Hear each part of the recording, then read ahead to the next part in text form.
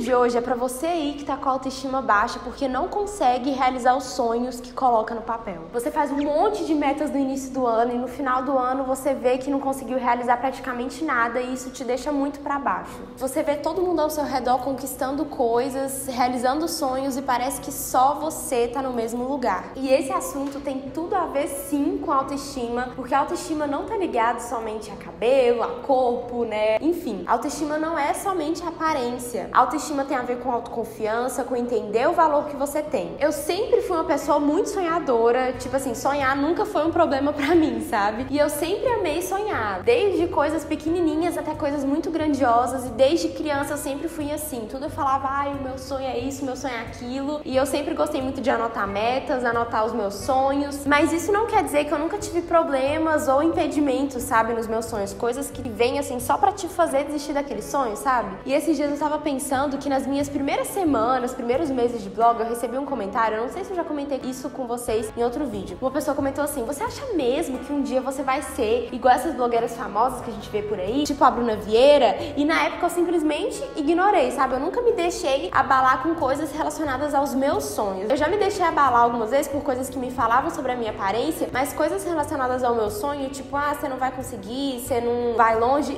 eu nunca me deixei abalar por causa disso. E eu acho que isso é uma característica minha. Mas esses dias eu tava pensando que, tipo, eu tava lá na casa da Bruna Vieira gravando com ela. E quando eu disse que isso era um sonho para mim, é realmente porque eu me inspirava nela. Eu nunca quis ser igual a nenhuma outra blogueira. Eu sempre entendi que eu tinha que olhar para minha realidade, olhar para minha personalidade, para quem eu sou, e eu tinha que realizar os meus sonhos olhando para mim, sabe? Claro, me inspirando em outras blogueiras, me inspirando em outras pessoas, mas olhando para mim, para minha realidade, para quem eu sou, para a vida que eu tenho, de onde eu vim e olhar para onde eu quero ir a partir disso, entendeu? Admirando e me inspirando em outras pessoas, mas sendo de fato quem eu, Ana Lídia, sou. E é aí que eu percebi um problema que a gente vê muito hoje em dia. As pessoas sempre vão comparar os nossos sonhos com os sonhos de outras pessoas, com as conquistas de outras pessoas. Por exemplo, a pessoa que foi lá e deixou esse comentário já tava me comparando com outras blogueiras, né, e falando que eu nunca iria conseguir. As pessoas sempre vão olhar para você e falar assim: "Tá, mas você sabe que aquela pessoa tem muito mais coisas do que você. Você sabe que aquela pessoa conquistou muito mais coisas que você. Você sabe que você nunca vai conseguir chegar no nível de fulano, né? Você sabe que fulano já fez isso, fez aquilo. E muitas vezes a gente vai ouvir essas coisas de pessoas que às vezes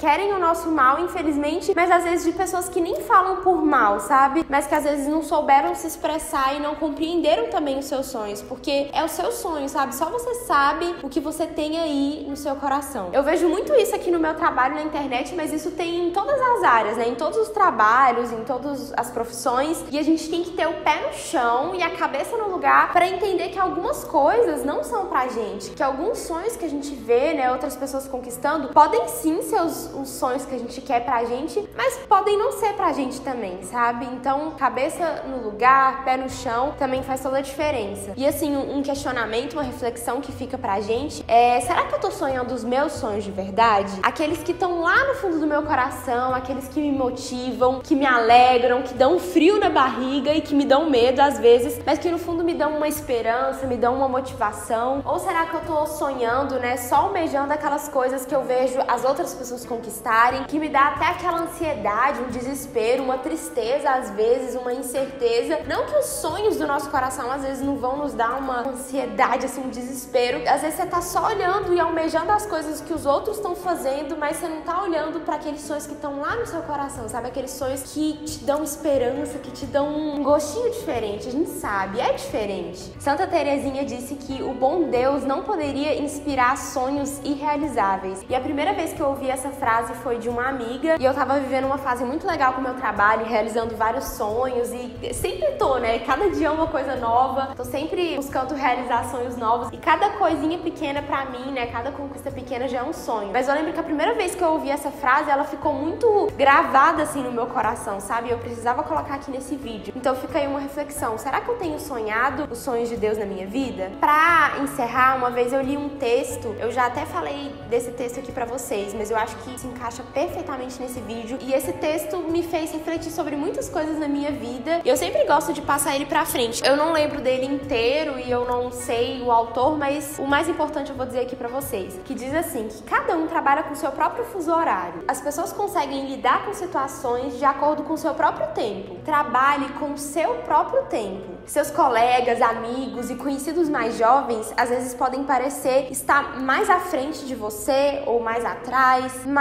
não os inveje e nem zombe deles. Eles apenas estão em seu próprio tempo e você está no seu. Segure firme, seja forte e seja verdadeira com você mesma. Você não está atrasada nem adiantada, você apenas está no seu próprio tempo. E sempre que eu lembro desse texto, eu sempre tento pensar que Deus não faz nada por acaso, sabe? As coisas na minha vida acontecem como tem que acontecer. E é claro que eu não vou ficar na minha inércia, né? Não vou ficar na minha zona de conforto, não vou ficar ali, ah, esperando as coisas acontecerem. Não, Deus vai fazer tudo no tempo dele. Não, também não é assim. A gente tem que fazer a nossa parte. E providentemente, hoje de manhã, quando eu fui ler o evangelho do dia, falava sobre a parábola dos talentos. Eu vou deixar a passagem aqui caso vocês queiram ler com calma. Mas basicamente fala de um homem que ia viajar para fora e chamou seus empregados e deu cinco talentos para um, dois talentos para outro e um talento para outro. O que tinha cinco talentos foi lá, trabalhou e conseguiu mais cinco talentos. O que tinha dois talentos foi lá, trabalhou e conseguiu mais dois talentos. O que tinha